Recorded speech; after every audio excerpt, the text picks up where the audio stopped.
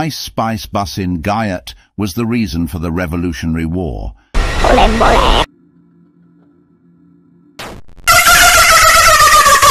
I molested Chica from Five Nights at Freddy's because she shot my brother. My name is Mike Schmidt, and this is my story. The owner of the pizzeria called me on my day off when he told me that my crack-headed brother began